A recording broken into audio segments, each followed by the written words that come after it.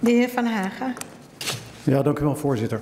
Um, ik hoor de minister zeggen dat uh, het moeilijk is om die cijfers op, uh, ja, op, op uh, locatieniveau zeg maar, te kunnen zien. Maar dat is natuurlijk helemaal niet aan de overheid om dat, om dat probleem op te lossen. Het probleem is nou eenmaal dat het in een concern zit. En dan vraag ik me af, waarom halen we dan niet gewoon die concernbepaling eraf? En heel veel concerns zijn uh, opgetuigd als zodanig dat er verschillende BV's onder een, moederholding hangen. Nou, laat die aparte BV's dan uh, een aanvraag kunnen doen. Dat zou een mogelijkheid zijn. Maar je kunt ook, stel dat het wel in één BV is, op kostenplaats gewoon een uitdraai maken. En dan is het aan de vestiging zelf of het, het, afzonderlijke hotel zelf of de afzonderlijke winkel zelf, om die cijfers aan te leveren. Net als gewoon een, een zelfstandige winkel of hotel. Ja, maar je zult, je zult daar toch altijd weer ook een check op moeten hebben. Uh, en je verantwoorden aan het staatssteunkader wat op ondernemingsniveau gaat.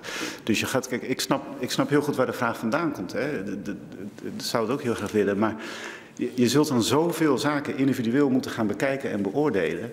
En ja, het kan hè, dat we dat aan de RVO vragen, maar dan ga ik alles waar u wel tevreden over bent, moet ik on hold zetten. Uh, dat is gewoon het, continu probleem uh, waar we tegenaan lopen. Ik bedoel, het is niet dat wij hier uh, in, in de overleggen die wij hebben over dit pakket, als we een probleem zien, zeggen van, nou ja, weet je, het zal wel. Natuurlijk kijken wij ook continu, wat kan er wel. Maar we lopen daar gewoon echt tegen de grenzen aan van wat we nog van onze uitvoer, uitvoering kunnen vragen. En, en systemen die daarop ingericht moeten worden. Dus ja, we hebben echt alles ondersteboven gehouden, maar ik zie het niet gebeuren.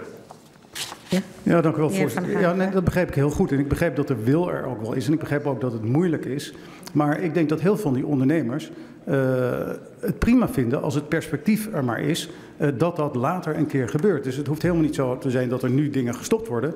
Als u nu kunt toezeggen van nou, we gaan dat doen, maar het kan wel eens een jaar uh, duren en natuurlijk moet er gecontroleerd worden, dan zijn die ondernemers al enorm geholpen.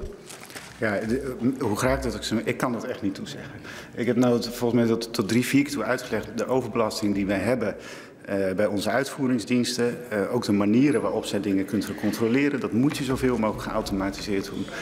Ik zie het gewoon echt niet gebeuren. En nou, ik, ik wil ook geen dingen toezeggen die ik helemaal niet kan waarmaken. Ja? Tot slot op dit punt, de heer Van Haga. Ja, voorzitter. Nou, kijk, dan wordt het niet een, een, een, een, kwestie van niet kunnen, maar van, van niet willen. Want het is natuurlijk uiteindelijk gewoon het feit dat er een concernbepaling in zit. En als we toestaan dat een, een, losse BV of een losse vestiging wel die aanvraag kan doen, dan, dan gaat het gewoon in de normale stroom mee.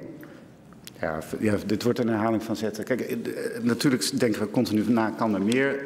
Hier wordt echt ook door de uitvoering tegen, tegen mij gezegd, dit kunnen wij er niet bij hebben. En dat gaat dan ten koste van alle dingen die wel goed gaan. En ik, ik weet je, ik kan dit gewoon niet toezeggen.